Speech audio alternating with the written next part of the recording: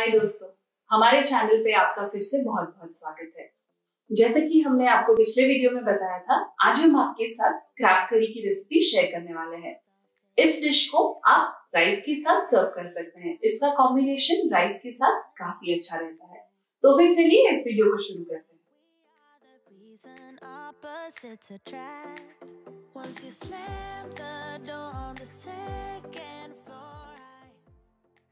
Krebs curry बनाने के लिए सबसे पहले हम कढ़ाई में थोड़ा सा मस्टर्ड ऑयल गर्म कर लेंगे। फिर जैसे ही तेल गर्म हो जाएगा, इसमें हम कट किया हुआ पटेटोज ऐड करेंगे और इसे फ्राई कर लेंगे।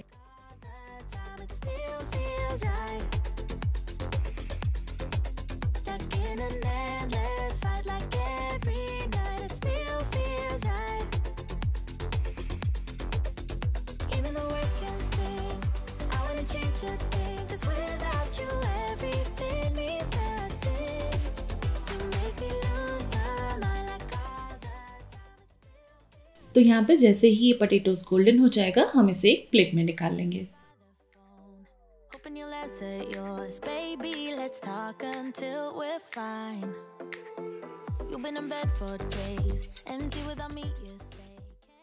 अब सेम कढ़ाई में हम क्रैप्स को डालेंगे और उसे भी दो से तीन मिनट के लिए फ्राई कर लेंगे। तो यहाँ पे हमें जो शेल वाला क्रैब है उसे ही फ्राई करना है। जो लेग्स का मीट है उसे यहाँ पे हम फ्राई नहीं कर रहे हैं।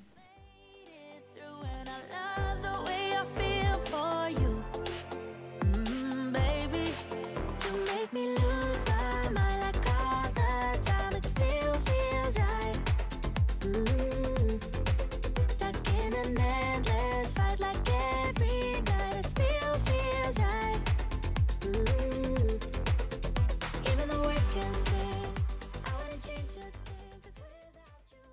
यहाँ पे हमारा क्रैब्स फ्राई हो चुका है। अब इसे हमें प्लेट में निकाल लेंगे और साइड में रख लेंगे।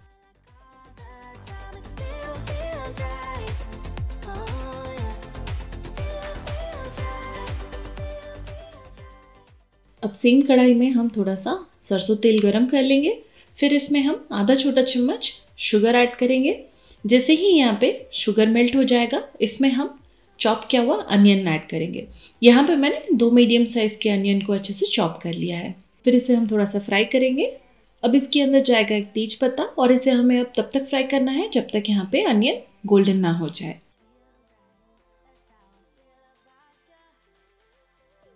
तो ये देखिए, यहाँ पे अनियन अच्छे से फ्राई हो चुका है, इसका कलर भी चेंज हो चुका है। अब इसके अंदर हम डालेंगे एक tablespoon ginger garlic paste अब इसमें थोड़ा सा हम पानी डाल देंगे ताकि जो मसाला है वो नीचे लग ना जाए। इसे हमें तब तक फ्राई करना है जब तक अदरक और लहसुन का कच्चा स्मेल इसमें से ना चला जाए।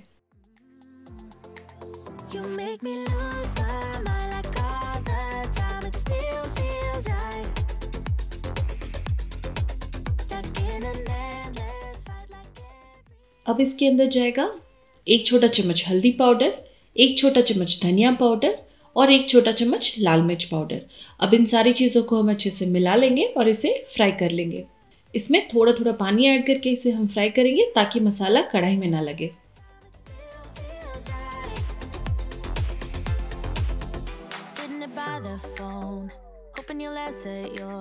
baby. Let's talk until we're fine.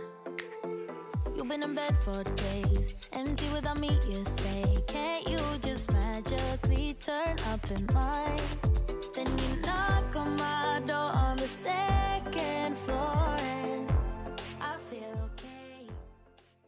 तो ये देखिए मसाला यहाँ पे अच्छे से कुक हो चुका है अब इसके अंदर हम एक चॉप किया हुआ टमाटो ऐड करेंगे टमेटो को जल्दी कुक करने के लिए इसमें थोड़ा सा नमक ऐड करेंगे और इसे तब तक फ्राई करेंगे जब तक टमेटोज अच्छे से सॉफ्ट ना हो जाए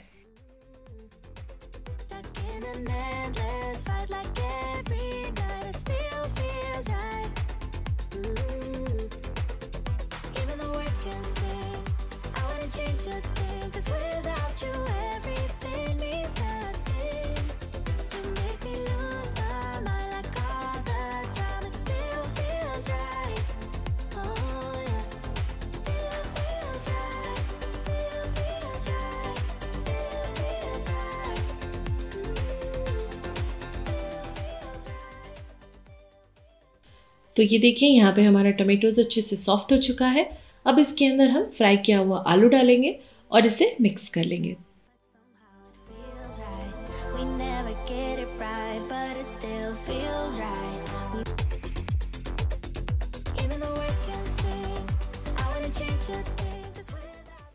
अब यहाँ पे हमने जो क्रैब्स के लेग से मीट निकाला था, उसे ऐड करेंगे और इसे दो से तीन मिनट के लिए अच्छे से फ्राई करेंगे ये क्रैप के लेग्स के जो मीट है, वो ग्रेवी के साथ मिक्स होके काफ़ी अच्छा फ्लेवर ऐड करता है हमारे करी में।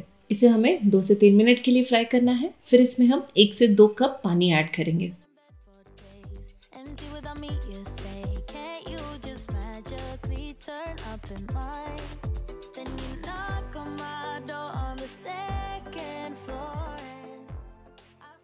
तो ये देखिए, यहाँ पे तीन मिनट हो चुका है, अब इसमें मैंने दो कप पानी ऐड किया है। अब हम पानी को बॉईल होने देंगे।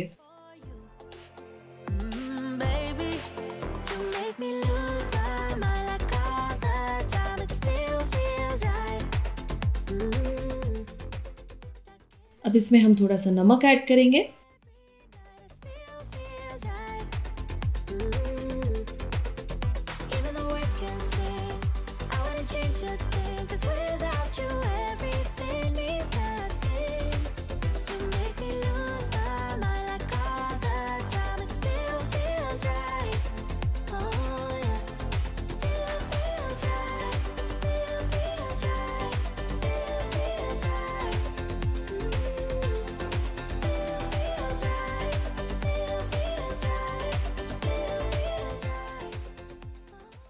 तो ये देखिए, ये ग्रेवी चार से पाँच मिनट के लिए अच्छे से बॉयल हो चुका है। अब इसके अंदर हम फ्राई किया हुआ क्रैब्स ऐड करेंगे। इसे एक अच्छा मिक्स देंगे।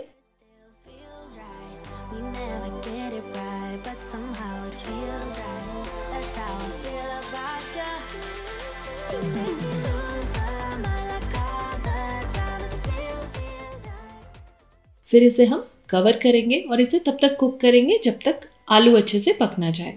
इसका कवर निकाल के बीच बीच में हमें इसे स्टर करते रहना है।